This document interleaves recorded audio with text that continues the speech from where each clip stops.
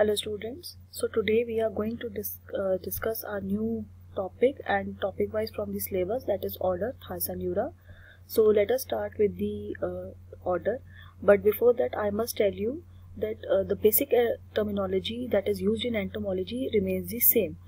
But in particular order if any other term will come I will discuss at that particular at that uh, particular point of time only right? So the basic thing things will remain same. So let's start with the topic order Thysanura. So the picture you are seeing in this slide I am very sure many of you when I will tell you what is it you must you will be wondering that yes it is an insect that you you are seeing from the from your childhood. So I would like to first give the common name silverfish lepisma it is a very common example that comes in the Thysanura now, have you seen this kind of damage ever? आपने कभी इस तरीके की पुरानी books देखी होंगी? तो आपने कभी हैरानी से देखा नहीं कि ये क्या हुआ है? तो पुरानी बुक्स के अंदर आपने देखे होंगे कि पेज जो है वो इस तरीके से बिटन अप हो रखे हैं। कि जैसे हम कहते हैं कि कीड़ा लग गया इसको तो कीड़ा मतलब क्या लग गया? इंसेक्ट लग गया। तो इंसेक्ट अब आज हम एंटोमोलॉजी पढ़ने लगे हैं तो as an as an entomologist अब आपको पता लगेगा, ये जो कीड़ा लगता है, ये आप जो इस फिगर में देख रहे हैं बुक्स के अंदर तो ये किस तरीके का कीड़ा है? अगर आपने कभी ये देखा है कि जो माइक्रोवेव अगर आप कितने टाइम तक उसको ना ध्यान दो, उसको ना साफ़ करो तो उसके अंदर भी कुछ छोटे छोटे जो है इंसेक्ट्स आ जाते हैं, जो कीड़े हम बोलते हैं, लग जाते हैं। वो भी इस तरीके के इंसेक्ट्स होते हैं जो आज हम इस ऑर्डर के अंदर डिस्कस करने लगे हैं। तो ये ऐसे इंसेक्ट्स हैं।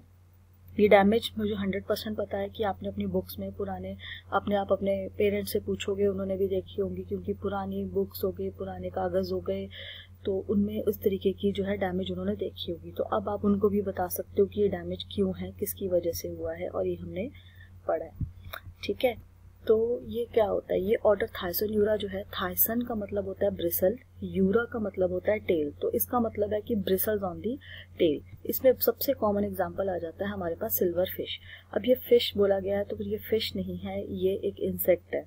ठीक है? किस तरीके का थाइसोन्यूरा के अंदर जो इंसेक्ट्स आते हैं, वो कैसे दिखते हैं? इनका साइज़ मॉडरेट टू स्मॉल होगा. बॉडी हमेशा फ्लैट और इलोंगेटेड रहेगी और इसमें डस्टी स्केल्स होते हैं। अगर कभी ये किताब में कीड़ा लगा है, आप इसको हाथ में पकड़ के देखिएगा तो आपको इसमें दिखेगा कि आपके हाथ पे कुछ पाउडरी पाउडर ही लगेगा। तो वो एक्चुअली में होते क्या इनकी बॉडी से स्केल्स उतरते हैं। इसके अलावा आप इसके अंदर जो पॉइंट देखेंगे, वो क्या है? अगर आप यहाँ पे देखें तो इसमें तीन टर्मिनल सेगमेंट्स आपको फिलामेंट्स आपको दिखेंगी, जो या तो ऑलमोस्ट इक्वल इन लेंथ की होंगी या थोड़ी इनमें से एक बीच वाली जो है वो बड़ी होगी। इसके अलावा क्योंकि इंसेक्टा है तो मैंडिबल्स होंगे ही होंगे वेल डेवलप्ड है। तभी ये बाइट कर पा रही है बुक्स को जो है स्टार्च को ये तोड़ पा रही है तो इसका मतलब मैंडिबल्स बहुत स्ट्रॉन्ग है। कंपाउंड आइज़ हैं, लेकिन बहुत स्मॉल होंगी और बहुत दूर होंगी वाइडली सेपरेटेड है। ऑसिलाए कुछ में प्रेजेंट होंगे और एबसेंट भी होते हैं मोस्टली दे आर एबसेंट ठीक है? उसके बाद ये हमारी जनरल फिजियोलॉजी है, इसकी ये अभी आपको सॉरी मोफोलॉजी है।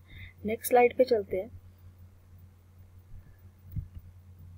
तो ये आपको फिगर जो यहाँ पे अब दिख रही है, ये आपको पूरा डैमेज दिख रहा है कि किस तरीके से डैमेज मैंडिबल्स इतने स्ट्रॉन्ग है कि डैमेज हुआ है। तो mouth parts are biting and chewing which are known as ectotrophous ecto तो again one mark question objective question ectotrophous क्या है? They are the kind of biting and chewing mouth parts उसके बाद एब्डोमन जो होगा, इसका अभी मैं आपको फिगर दिखाऊँगी, वो काफ़ी लंबा है लॉन्ग है। उसमें सरसाई जो होंगे, वो मैनी सेगमेंटेड होंगे। सरसाई सेगमेंटेड भी हो सकता है अनसेगमेंटेड भी हो सकता है, इसमें सेगमेंटेड होता है और जो सेंट्रल वाली फिलामेंट है कॉर्डल वो सिंगल एक प्रेजेंट होती है। हेड सेसाइल होगा। सेसाइल का मतलब क्या होता है कि रोटेशन जो है, वो लेफ़्ट राइट पे ज़्यादा नहीं होता मूव नहीं कर सकता। एंटीने बहुत लॉन्ग होंगे फिलीफॉर्म मतलब थ्रेड लाइक और सेगमेंटेड सेगमेंटेशन बहुत होंगी। थॉरेक्स अगर हम इसका देखेंगे तो उसमें आपको बहुत वेल डेवलप पैरानोटल लोब्स दिखेंगे, क्योंकि पैरानोटल लोब्स का मतलब है कि वहाँ पे ट्रेकिया की ट्रेकिए की सप्लाई बहुत ज़्यादा होगी तो ऑब्वियसली इसका मतलब ऑक्सीजन कार्बन डाइऑक्साइड का जो फ्लो इन एंड आउट चल रहा है, वो थॉरेक्स में बहुत स्ट्रांगली चल रहा है। जो सिक्स लेग्स हैं, इसकी सारी जो छह लेग्स होंगी, वो सिमिलर होंगी। कॉक्जा लार्ज है टारसाई जो है वो टू टू थ्री सेगमेंट्स होगी और क्लॉज प्रेजेंट होंगे तभी ये मूव कर पाती है। ठीक है? अब ये देखो, ये जो एबडोमन है एब्डोमन जो है वो टेन सेगमेंट्स है। ठीक है? अब जैसे जैसे हम पीछे जा रहे हैं तो एब्डोमन का साइज़ जो है वो सेगमेंट का साइज़ जो है वो रिड्यूस होता जाएगा। जो इलेवन सेगमेंट होती है, वो इलेवन सेगमेंट जो होती है, उसमें जो है, यहाँ पे अगर आप ये देख रहे हो, ये सरसाएँ हैं। ठीक है? तो यहाँ पे सेगमेंटेड सरसाएँ होंगे। तो एक सिंगल फॉर्म में नहीं होगा। सेगमेंट्स होंगी, जैसे तीन से चार सेगमेंट्स होंगी, और एक सेंटर में आपको दिखेगा medium segmented caudal filament eighth और नाइन्थ सेगमेंट पे गुनेपोफाइसिस होगा। अभी अगेन वन मार्क का क्वेश्चन है और वैसे भी आपको पता होना चाहिए what is gonapophysis it is the external genitalia of any insect male gonapophysis female gonapophysis next आते हैं हम। अब what are the habits of Thysanura जो इस ऑर्डर में इंसेक्ट्स आएँगे, वो कैसे होंगे? एक तो वो एक्सट्रीमली एक्टिव होंगे। डायनल नॉक्टर्नल आपको कभी भी उनका हैबिट दिखेगा, ऐसा कोई स्पेसिफिक नहीं है टेरेस्ट्रियल है। आपको डैम्प वार्म प्लेसेस में मिलेंगे। अगर आप कभी अब ध्यान भी दो तो बुक्स जो होती हैं, जिनमें ये लगे होते हैं, जिनमें ये डैमेज करते हैं, वो नॉर्मली बहुत पुरानी होती हैं और इस तरीके की जगह पे पड़ी होती है जहाँ डैम्पनेस होगी और बहुत टेम्परेचर हाई होगा, थोड़ा हाई होगा। स्टोन्स के नीचे लीव्स के नीचे ट्रीज के नीचे एंड्स के नेस्ट में ओमनीवोरस हैं। और सबसे इंपॉर्टेंट जो लाइफ स्ट्रैटेजी इनकी है जो ये आज की डेट में एग्जिस्ट करते हैं और अच्छे खासे नंबर में करते हैं तो वो स्ट्रैटेजी क्या है कि जो इनके एग्स हैं दे आर लेड इन दी क्रेविसिस क्रेविसिस का मतलब क्या है? छुपा के जैसे छोटी छोटी मोरियाँ होती हैं कहीं पे वहाँ छुपा के एग ले करती है फीमेल और मैंने आपको बताया कि फीमेल एग ले की कैपेसिटी जो होती है एक फीमेल की इंसेक्टा में वो 400, 500, 700, 800 ऐसे जाती है. सेकेंड स्ट्रैटेजी इनके अंदर ये है कि ये ए मेटाबोलस डेवलपमेंट है. क्योंकि विंग्स नहीं है तो ए टेरिगोटा हो गए। ए टेरिगोटा मतलब ए मेटाबोलस मतलब कि क्या? मेटामॉर्फोसिस नहीं होगी। मेटामॉर्फोसिस एबसेंट इसका मतलब ना तो एग से निम्फ बनेगा, ना तो एग से न्याड बनेगा, ना तो एग से लार्वा बनेगा। तो एग से क्या बनेगा? अब इसको अपने अपने जैसी डेवलपमेंट लेके चलो, जैसे ह्यूमन डेवलपमेंट होती है तो हम जब बड़े होते हैं, हमारे हमारे बॉडी शेप में बॉडी ऑर्गन्स में डेवलपमेंट होती जाती है। लेकिन ऐसा नहीं होता कि हम जब छोटे होते हैं तो हम ड्रास्टिकली डिफरेंट होते हैं अपने जब हम अडल्ट बनने वाले हैं। हमारे पेरेंट्स हम बिल्कुल अलग होते हैं। हमारी मॉर्फोलॉजी बिल्कुल सेम रहती है। हमारा लाइफ भी बिल्कुल सेम रहता है। सिर्फ़ हमारी बॉडी फिजियोलॉजी में जो है वो चेंजेस आती रहती हैं। लेकिन जिन इंसेक्ट्स में मेटामॉफसिस नहीं तो यही वाला जो कंडीशन हो गया, ये सिर्फ़ क्या होता जा रहा है? इसमें स्क्लेरोटाइजेशन बढ़ती जाएगी। इसके बॉडी ऑर्गन्स डेवलप होते जाएँगे सेक्सुअली मैच्योर होता जाएगा। तो ये first instar second instar third fourth instar fifth instar and finally it will mature into adult तो इसमें कोई ऐसी स्टेज नहीं आई है जिसमें कि इसके अंदर हम बोल सकें कि ये वाली स्टेजेस जो है, इससे टोटली डिफरेंट थी। या इन स्टेजेस का, इसका लाइफस्टाइल जो है, इससे डिफरेंट था।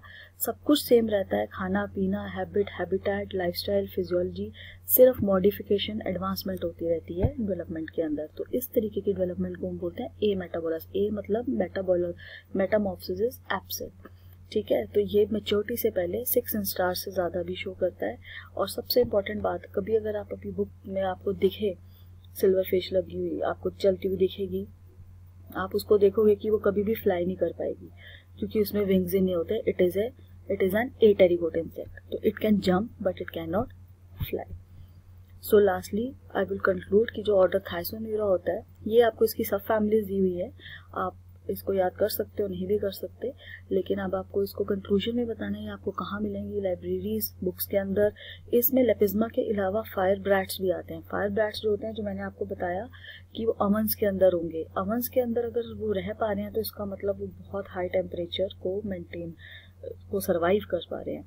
और जो ये आपकी बुक्स पे लगती है तो इसका मतलब देखो कि माउथ पार्ट्स कितने डेवलप्ड हैं इसके। इतना छोटा इंसेक्ट है माउथ लेकिन मैंडिबल्स इतने डेवलप्ड हैं कि वो स्टार्च को स्टार्ची सब्सटेंसेस को बुक्स के अंदर बाइंडिंग बुक की जो बाइंडिंग होती है, इतनी मोटी बाइंडिंग होती है लेबलिंग लेबल्स होते हैं, उनको ये च्यू कर सकती है। तो ये बहुत छोटा सा ऑर्डर है। इसके जर्नल कैरेक्टर्स जो हैं, आपको पता होने चाहिए। एंड आपको इसमें कि कैसे हम इसको अगर आपके से आपको इसमें बेसिकली आपका टॉपिक है कि salient features of Thysanura giving examples हैं। अगर आप सिलेबस खोल के देखोगे तो आपका ये टॉपिक है। तो आपको इसको इस तरीके से तैयार करना है कि आप इसके हैबिट हैबिटेट जनरल फीचर्स इसकी बॉडी शेप डायग्राम इसकी जो एक सिंगल बनानी जो है वो बहुत ज़रूरी होगी। एंड एनी इसमें से क्वायरी होगी आपको तो आप मेरे को इसमें पूछ सकते हो। Right so we have concluded with our first order which is the smallest order next धीरे धीरे आपको जो है, हम बड़े ऑर्डर्स की तरफ़ लेके जाएँगे, ताकि आपको जो है ये कंसेप्ट ऑफ़ ऑर्डर्स समझ आता जाए और लास्ट में आपको कंपैरेटिव में इसकी समझ आ जाएगी। सो थैंक यू लेपिज्मा को ऐसे याद रखना है, अपनी बुक से याद रखना है कि बुक डैमेज हो गई है तो वो आपका लेपिज्मा है। जो कि फ्लाइटलेस है उड़ नहीं सकता, लेकिन क्योंकि बुक को खा पा रहा है पेजेस को खा पा रहा है तो इसका मतलब उसके अंदर कुछ ऐसी स्ट्रॉन्ग चीज़ ज़रूर है, जिसकी वजह से वो इतना वेल अडेप्टेड है कि वो सर्वाइव कर पा रहा है। ठीक है? Thank you